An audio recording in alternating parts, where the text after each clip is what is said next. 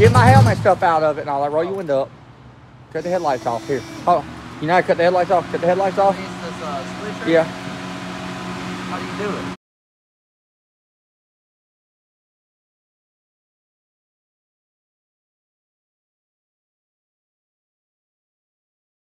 Hey guys, welcome back to the channel. Well, here it is Monday. We in here in the shop working. Check out this thing right here. Look at this little nice Ford. I gotta fix some oil leaks on this thing. It's the 81 model, I think the customer said. Gotta go through and get this, uh, we're gonna get all the oil leaks fixed on it. Man said he gave $900 for this truck. Look how clean that thing is.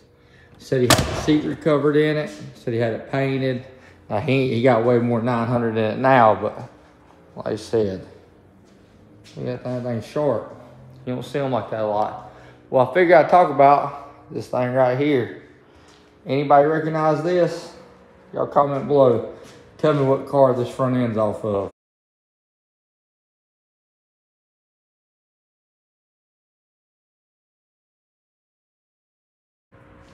All right, now, now that you uh, commented below, it's off patches. So he just put this new front end on his car the other week. Had it all up on there and all. And his golf cart decided it wanted to roll into the car and mess his front end up. Now this is carbon, so it's a little different surface to mess with than what we typically deal with. But I just wanted to go ahead and give y'all the befores. If you look like you see how this thing's setting down right here in this cracks here, I'll have to go on the inside and what I'll do, I'll pull it up and I'll fiberglass this on the inside. I'll put a whole patch about that big on the inside right here to build this up to keep it from it. But If you look at this kind of stuff, where it broke loose, it's kind of a pain in the butt. But what you gotta do, I'm gonna pull this, this headlight cover off so I can get up in here and work it. But what, I, what I'm doing, what I've been doing is this right here. You take your screwdriver, something small, something sharp, and you poke at some of this stuff and you get it broke loose. Anything that is cracked, you have to get out of it because it'll just come back through. So to get this like this little crack right here, I'll have to poke at this to get this to split. Sometimes you can dig them out and put a little super glue and uh, you take a uh, you take a little super glue and you can super glue it. You take you some baking soda and then put a little super glue in it and it makes a bond, kind of like what I done on that front end on Caden's cart right when it was cracked. But you can uh, you can go through and bond it put you some baking soda and super glue, it instantly dries and it makes it super, super strong. It's how a lot of times they repair carbon fiber is through that. But see what I will do here, if you look, that's the body line. So this is gonna be kind of challenging to do. But what, what we're gonna do, this right here, I'm gonna scuff all this stuff up real good. I'm gonna go on the inside of it and I'm gonna fiberglass a patch around all this area here to give it more strength to keep it from flexing. Once I get all this cleaned up, I'll run me a tape line. See that right there? We're gonna get that piece out because that ain't gonna do nothing but keep breaking. We're gonna come in here, we're gonna taper this off. All this rigidness, we're gonna take a sander, we're gonna have to sand it and get it to where it, get it down to where it, it can't crack like it can or like it will. Because if you leave a crack in it, something, if you like that sharp edge right there, that's just prone to crack back through. But if you sand that down and bond, so it'll bond, I'm gonna come in here, I'll, I'll lay me a piece of tape across here, and I'll lay me a piece of tape across here, and I'll bondo that area. I'll skim it. I'll tie, well, I'll do, I'll tiger hair and I'll sand the tiger hair down, and then I'll skim it with bondo, and ultimately I'll get my shape and get it sanded, and then I'll go from here, I'll tape it off, and I'll do it to there. But you'll have to do this in sections. Each little section, see how these little lines are here? I'll have to run a tape line across it here, and we'll have to build that up. And we'll have to do that to the whole front end. We gotta get that spot there, we got a little spot down there, we gotta sand. Get this repaired up here, get this body line here repaired, that there, get that repaired, and then one of the Dzus fasteners on the back's bent. We gotta bend it up. But the main thing right now we wanna do is get all this stuff cleaned up as good as we can because it's kind of like powder. It's kind of ashy a little bit. I ain't ever actually seen nothing do like this is done when it's split, but we just gotta go through and get it all built up. First, we gotta get it grounded down. Then we gotta get it built up.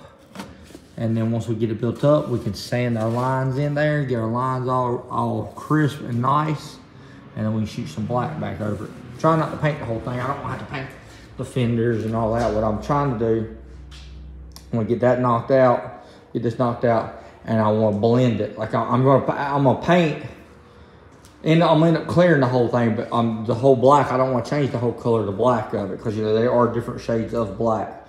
So what I'll do, I'll get a black, I'll get this thing shot and get it close, and I'll come in here and uh, we'll blend the spot there and we'll blend that in, and then we'll scuff it and we'll clear the whole thing. See, we also got some damage up here. He did a good number on it right here. We gotta fix that crack. We gotta fix the crack up there on the edge. Get it back looking right. So we'll get it. It's gonna take some time. It'll be a little bit of work. It's gonna be a lot of work, honestly, to get it right, right. But it's gonna look good when we get done with it.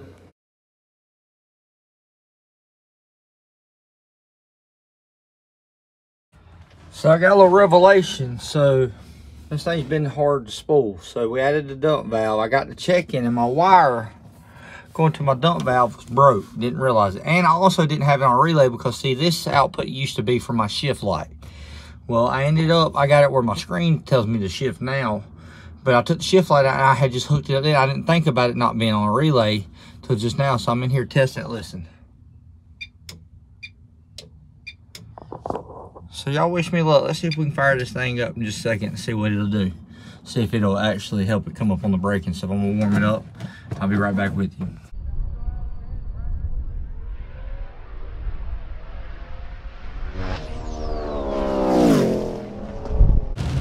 Hi guys, I've done a DOD on this thing. These uh, Chevrolets are notorious for the lifters chattering and stuff on them and going bad. So we done a DOD, you change the cam out, the lifters, put new head gaskets, new lifter trays, all that stuff on it. We're averaging about 14.8, 14.9 per gallon or whatever I'm over here. This thing runs good, but it, I hate freaking the way DODs feel. Like the throttle response, if you just riding on the road and it's kicking in the DOD, you gotta kick it. See how long it takes it to react? Watch it right here. It just takes it forever. So I'm gonna get Nigel to turn around and uh, flash the tune. Let's see how much miles per gallon, see if it see if it gains or whatever with the tune and flashing it versus what it is now. It's driving along. Said 14.8 to 15.0 is about where it's been at. I'm getting the flash ECU, cut the DOD off in it now that I've done the cam and the lifters. Let's just see what it does. Hopefully my phone don't die, but look, about 15.7. My phone died. That thing ended up getting about 15.7 to 16 miles per gallon. So it picked up about a mile to a mile and a half overall, driving the same distance, same throttle speed, coming back the same roads. So some roads are uphill, some downhill, but it definitely picked up. Throttle response, phenomenal. You hit the gas in it, it goes. Customer will be real happy with it. They, uh, the DOD, when you do the DOD deletes, they, they freaking drive a ton better. But I ended up, uh, talking about my car here. My car ended up going through and it still struggles on the brake. Once Nigel gets on the dyno and tunes it, and works on it, I think it'll be better because I added some fuel to it and it helped a lot. So uh, I'm sitting here in the car now. Dennis Hampton Jr. He uh, he's our tech guy at Shadyside. And uh, he's always asking about the safety neutral switches being hooked up. You know, your belts being in date, which I got to go replace my belts before Thursday because the date on my belts is July of 19. So basically they ran out, they ran out right, or June, June of 19. So they ran out this year. So we got to go ahead and update those. But he also asks us about the safety neutral switch. Are they hooked up? Are they hooked? Every time we go, he asks everybody about their safety neutral switch and getting them hooked up. And if you look, it's in park. I got through and uh, it'll crank right there. But look at this. If I pull it down in gear, nothing. Nothing. But if I put this thing up in park,